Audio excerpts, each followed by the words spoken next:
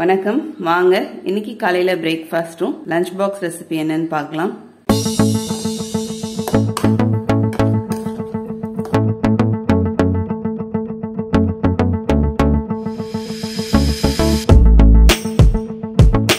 இன்னைக்கு காலையில் பிரேக்ஃபாஸ்ட் பார்த்தீங்கன்னா நல்ல சூடான ஆவி பறக்கிற வெண்பொங்கலுங்க. அதுக்கு சைட் டிஷ் பார்த்தீங்கன்னா தேங்காய் சட்னி. தேங்காய் சட்னியே லேசாக கலராக இருக்குன்னா இன்னைக்கு மிளகா கொஞ்சம் பழுத்துருச்சு. அதை போட்டு அரைக்கவே கலராக இருக்குது அப்புறம் பார்த்தீங்கன்னா சுண்டல். இன்னைக்கு காலையில் பிரேக்ஃபாஸ்ட் சுண்டல் பொங்கல். இன்னைக்கு லஞ்ச் மெனு பார்த்தீங்கன்னா நல்ல சுட சுட சாதம்.